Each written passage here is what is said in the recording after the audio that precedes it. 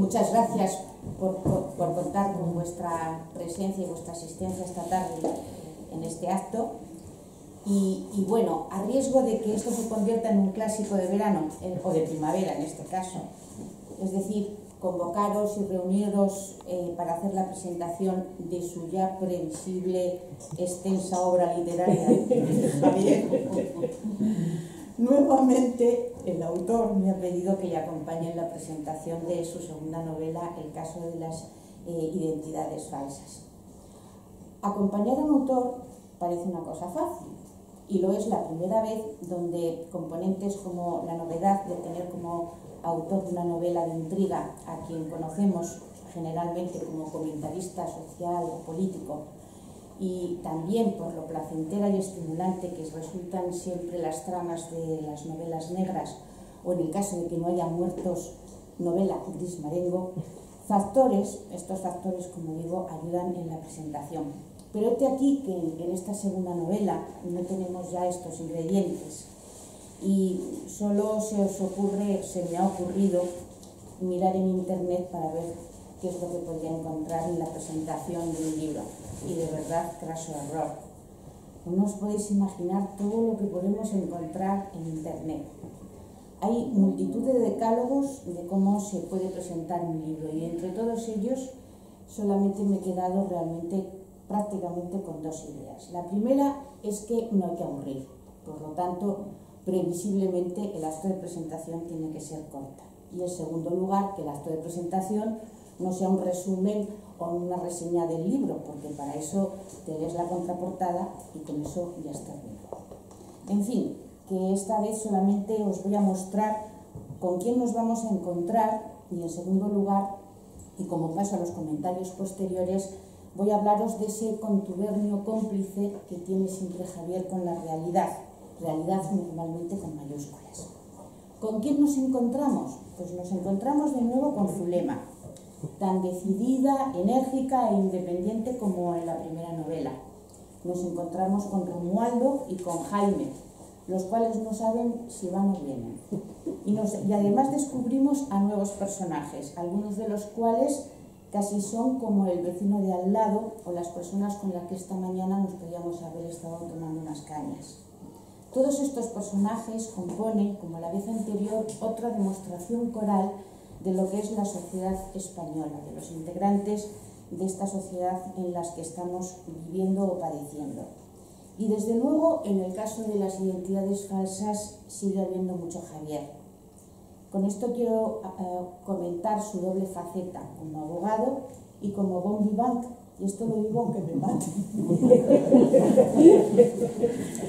ya sabéis que Javier tiene un gusto por la mesa, comida y bebidas tan vitalista que cuando lees algunas de sus páginas lo que te dan ganas es ir al frigorífico y abrir una cerveza de malta especial para, acompañar a la lectura y quedar al mismo nivel.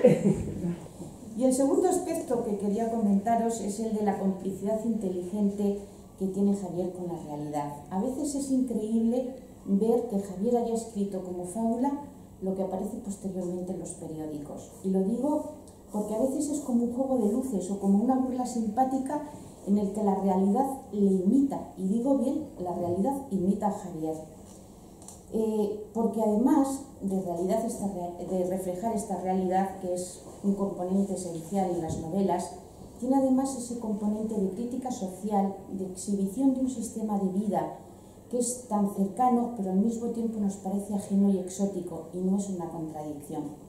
No es una contradicción porque Tabarnia, Tabarnia, que era una idea de locos hace más de un año, Javier ya tenía en las páginas a Barataria, a Barataña, perdón.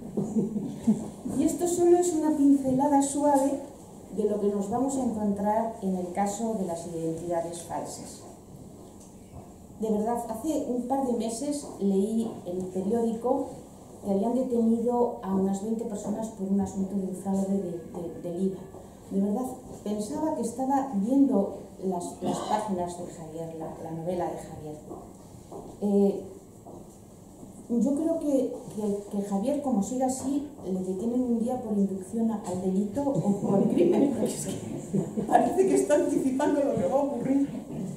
Y también quiero resaltar que en este acto eh, amable y, entre amigos, que nos reímos muchos de nuestros móviles y, también no, nos damos cuenta que incluso esas veces que vamos por la calle y sin querer o sin darte cuenta te ahogas la nariz, pues resulta que estamos delante de miles de cámaras, de cámaras que nos controlan, que nos vigilan y que a veces nos ayudan. Y este es otro de los elementos integrantes de la novela que causa realmente interés y admiración. Sin embargo, con todo, el caso de las identidades falsas, como toda una buena novela de intriga, cumple con uno de los valores que han hecho de este tipo un género literario sólido y de valor reconocido. Me refiero al valor de crítica social o de denuncia de las desigualdades sociales, entendiendo por tal no solamente las económicas, sino también las eh, culturales y las, y las formativas o académicas. ¿Quién nos recuerda la Barcelona triste y gris que reflejaban las andanzas de Pepe Carballo, quien vivió gracias a Manuel Vázquez Montalbán, o en la actualidad las denuncias de agitación social contenida que refleja Bevilacqua el Chamorro a través de Lorenzo Silva? En el caso de Javier, como os decía, sus obras terminan siendo proféticas. Al hablar de corrupción política, de estafas bancarias, de enormes desigualdades sociales, aunque ya ha sido escrita solo unos meses antes, porque incluso coinciden los países, tan de moda siempre, pero que además algunos de ellos muy de moda estos últimos días. Espero no haberos destripado la trama, solamente presentaros al autor, a los personajes conocidos y por conocer, y a esa realidad, esa parte de la realidad que nos presenta Javier, que es muy jugosa, divertida, si no fuese injusta, porque no siempre y no todos los chorizos acaban entre rejas o si acaban no siempre están dentro del suficiente tiempo. Y con esto doy paso al autor para que nos amplíe la presentación. Espero que sin desgranar nada porque lo que tenemos que hacer todos es comprar el libro.